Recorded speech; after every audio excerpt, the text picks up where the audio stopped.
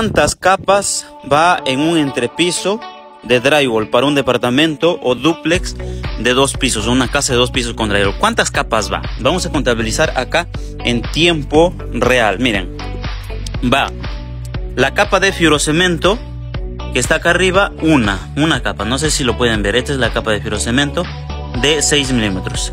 Ahí va una capa. La capa de tablero fenólico, dos capas. Eh, ¿Qué más va? Lo que es los tubos de 2x2 son tres capas. El tubo de 6 pulgadas son cuatro capas. Hasta ahí vamos cuatro capas. ¿Ve? Luego viene el omega que va por debajo. Son cinco capas. Después viene la fibra de vidrio que tenemos acá abajo que todavía falta instalar. Eh, ¿Cuántas llevan? Cinco capas, seis capas con la fibra de vidrio.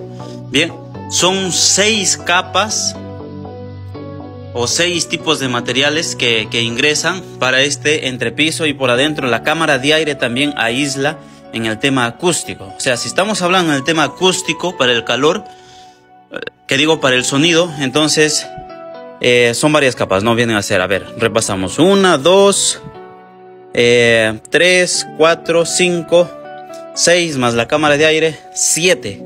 Son siete, siete capas, amigo, contando. Entonces, es por eso que ahora nos vamos a sacar la duda ya de que el drywall se escucha el sonido, no se escucha el sonido. Para eso está la fibra de vidrio, para eso está las diferentes capas.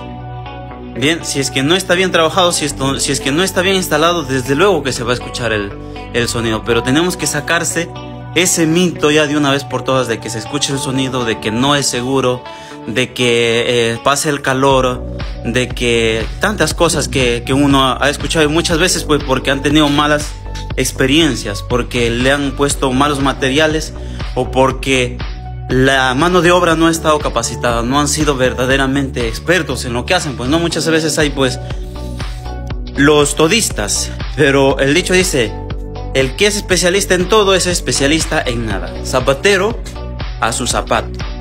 Exactamente, tiene que alguien, esa persona que contratas, tiene que tener conocimiento de algo en profundidad. Y no ser pues un contratista general, qué sé yo. Así que amigos, vamos a sacarse ese mito y esa es la razón. Hoy te, vamos, hoy te hemos explicado por qué es totalmente seguro y no se escucha. En el siguiente video te vamos a explicar un poco más de estructuras, aunque ya se está anocheciendo y hace un montón de frío, pero vamos a ver si te lo podemos explicar en las estructuras y los sismos.